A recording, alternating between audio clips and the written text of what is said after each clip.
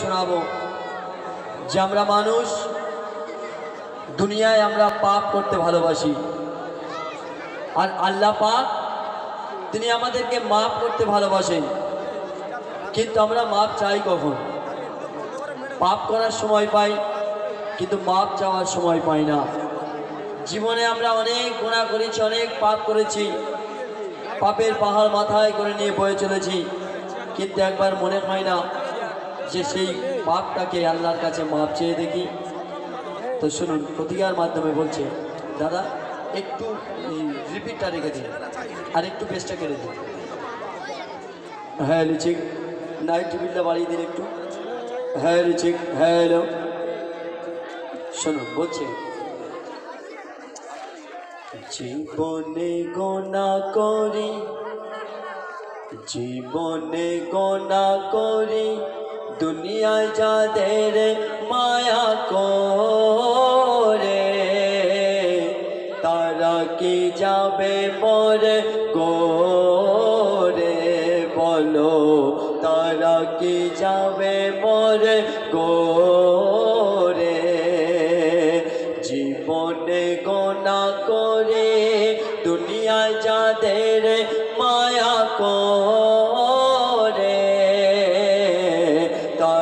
কি যাবে মরে গোরে, বলো তারা কি যাবে মরে গোরে? আর জবাব কি তারা দেবে? জবাব কি তারা দেবে? আমার ওই কবরে হাসরে।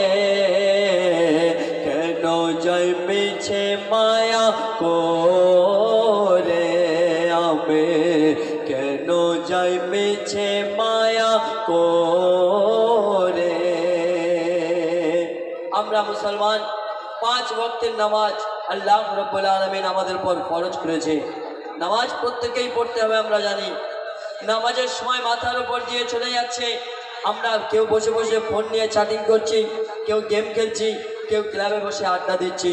কোনো নামাজি যদি আমাদের বলে, চল না ভাই নামাজের সময় হয়ে গেছে, নামাজটা পড়ে আসি।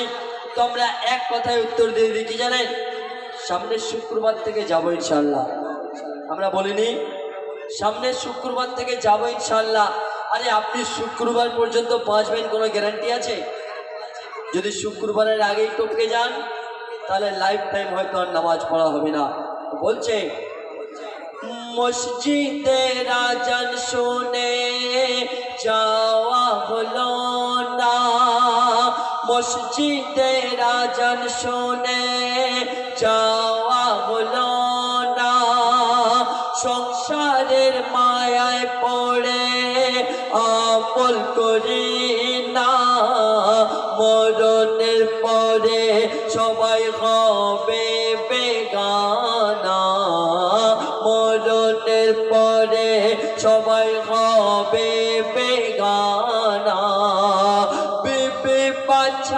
ঘর বাড়ে কে চাঁদ সোনা?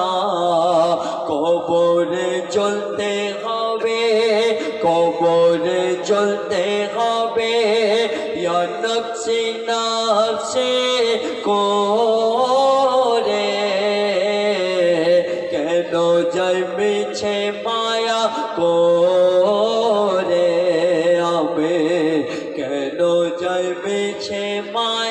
করে। শেষ কথা বলছে, আমরা জওয়ানি বয়সে কত পাপ, কত গুণা কত কি করি? কিন্তু জওয়ানি বয়সে পাপ যখন করি, তখন পাপটাকে পাপ বলে মনে হয় না। মনে হয় কখন জানেন?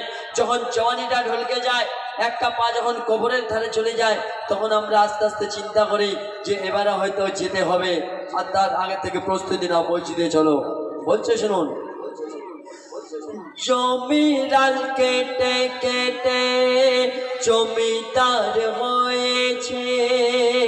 জমিরাল কেটে কেটে জমিদার হয়েছে।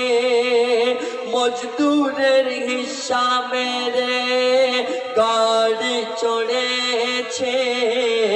জওয়ানির গরমেতে কি না করেছে। গরমেতে কি না করেছে? সন্ধ্যাকালে এসে হিসাবে বসেছে। আমলে শূন্য আমি, আমলে শূন্য আমি। কি বলব খোদারই বিচারে?